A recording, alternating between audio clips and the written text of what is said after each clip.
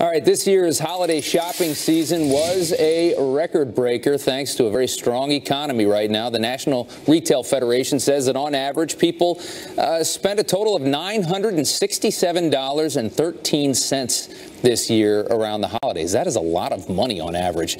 So, how do you make sure your holiday spending doesn't drive you into debt? Here with money hacks for a happy new year from the stock swoosh, Melissa Armo. Melissa, thanks so much for coming on this morning. The first one you've got here, and a Merry Christmas to you. Merry Christmas, Happy New Year. And Happy New Year coming up here in just a few days. I can't believe it. Uh, use a credit card and don't use cash, you say. Well, I mean, if you use a credit card, you can pay it off in 30 days. So that's sure. the nice thing about the card. A lot of people feel like if they have cash, they'll spend less, but you you get to put off the payment if you use a card. And also, there's 0% interest cards out there, low interest right. cards. So it's really up to you. But in New York, I mean, I don't carry a lot of cash. I don't know about you, you know, walking around the city. So yeah. it depends how safe you feel paying with a card versus the cash and where you live. And there's a lot of cars out there that'll give you 18 months, no interest. I mean, exactly. you get 18 months, you can spend, you know, 10, 12, 15 grand if That's you want right. to. Yeah. yeah. All right. That's good advice. Uh, all right. Wait 24 hours before you make a big purchase. So 24 hour think about rule. It. That, in fact, that's, that goes for everything. right, yeah.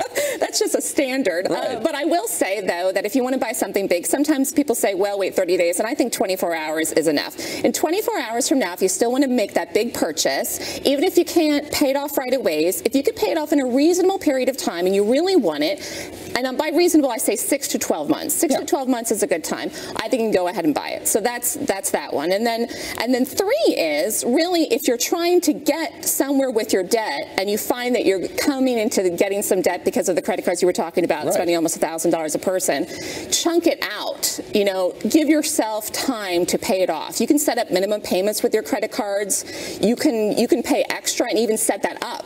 Yeah. You can even automatically have an extra amount coming out each month so you you be accountable to yourself, you know, when you're spending, have but plan. don't uh, you know, don't allow yourself not to spend. Okay. And yeah. this is uh, I think this is some great advice here. Uh, if you got some extra money, bump up the 401k because you know you're going to need it someday. Yes. Well, it's free money. I, at least yeah. what your employer is going to match. match, yeah. And the, January is a good time to start that. Yeah. You know, and you know, with all the new things with the tax reform, people are going to see a tax savings.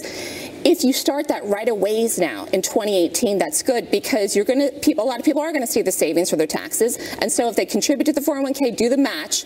Some employers match up to four percent. Right. I mean, it is free money, it's, so I definitely would say do it. And yeah, you're right. A lot of people are going to have bigger paychecks here in just a, a matter right. of weeks now. So that's that's great news. Uh, and change your attitude on money. Tell me what this means. Well, I say in general, a lot of people when they're thinking about money, and this is very important for the new year because having a new, fresh attitude is a great way to start off January. Sure have a good relationship with money. Whatever you focus on is going to expand. So for example, if you're focusing on, oh, I don't have enough debt, lack, you know, that kind of thing, you're going to get more of that. So what you want to focus on is having a healthy relationship with money, which is a circle. Money comes in, money goes out.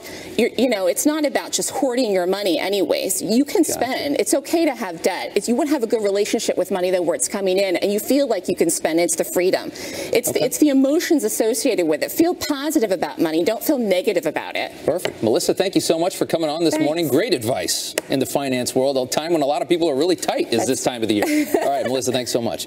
All right, 54 minutes after the hour.